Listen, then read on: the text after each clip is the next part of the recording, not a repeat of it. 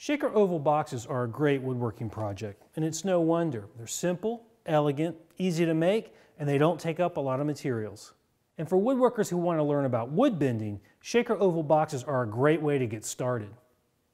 Traditionally, these 16th of an inch thick, straight grain box sides were bent with hot water, and that's the method I'll demonstrate.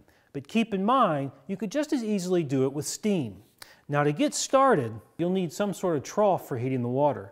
Just be sure it's made from either copper or galvanized steel to prevent staining of the wood. You'll also need a pair of electric hot plates, some copper tacks, a bending form, a pair of shapers to hold the form during drying, and this shop-made anvil, which is nothing more than a piece of galvanized pipe that's been bolted to a wood block. Begin by heating distilled water to at least 180 degrees. Tap water could contain minerals that would discolor your wood.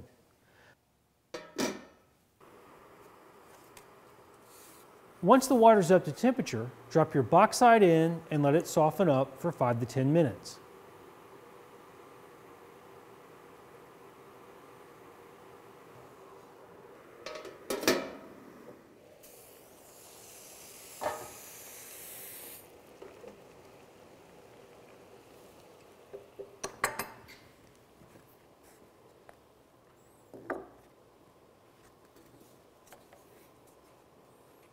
Now bend the thin band around the form.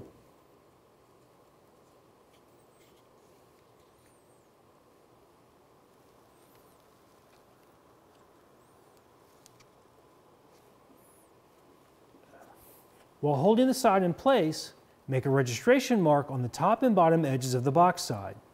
You'll need to take the band off the form for the next step, so these marks are really important. With the band held over your shop-made anvil, tack the box together. The ends of the tacks will mushroom out as you tap against the pipe, making a perfect rivet joint.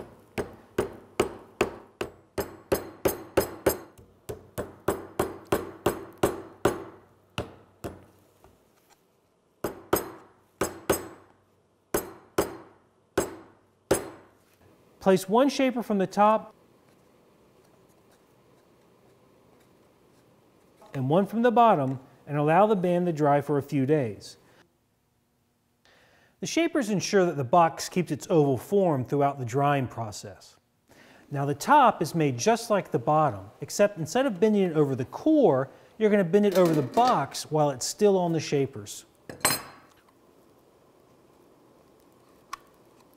For a complete tutorial on how to build a shaker box from start to finish, be sure to read Pete Baxter's article in Fine Woodworking number 247.